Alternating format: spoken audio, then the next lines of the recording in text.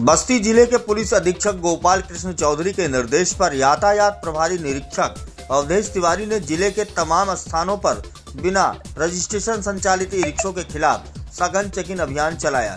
इस अभियान में कुल 50 वाहनों के कागजों में कमी पाए जाने पर चालान भी किया गया। स्टार न्यूज़ भारत को जानकारी देते हुए यातायात प्रभारी अवधेश तिवारी ने कहा कि जो बिना रजिस्ट्रेशन के ऑटो और ई रिक्शा सड़क पर चल रहे हैं, उन पर पुलिस अधीक्षक के आदेश पर कड़ी कार्रवाई की जा रही है। साथ ही, अवैध स्टैंड पर भी कार्रवाई की जाएगी।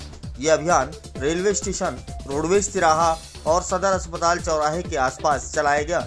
बस्ती से गौरव श्रीवास्तव की रिपोर्ट।